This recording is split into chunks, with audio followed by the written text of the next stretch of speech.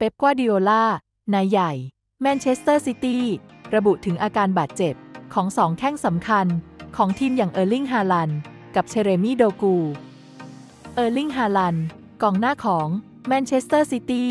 พลาดการลงเล่น ในเกมพรีเมียร์ลีกที่ทีมเฉือนชนะลูตัน 2 ต่อ 1 เมื่อวันอาทิตย์ที่ 10 ธันวาคม โดยมีรายงานจากเดลี่สตาร์ว่าเขาประสบปัญหากระดูกเท้าแตก อย่างไรก็ตาม เป๊ปกวาร์ดิโอลา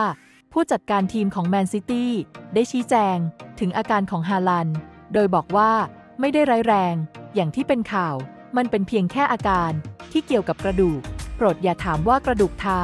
ของเขาแตก มันเป็นอาการอ่อนล้าเท่านั้น กวาร์ดิโอลากล่าว กุนซือ ชาวสเปน ยังระบุว่า ฮาลัน ไม่น่าจะพร้อมสำหรับเกมกับคริสตันพาเลสแต่อาจจะพร้อมในการแข่งขัน ฟุตบอลสโมสรโลก ที่ซาอุดิอาระเบีย เขาไม่พร้อมสำหรับเกมนี้ ผมไม่คิดว่าเขาจะพร้อม ในเกมกับคริสตันพาเลสหวังว่าเขาจะพร้อมที่ซาอุดิอาระเบีย ในขณะเดียวกัน โดกู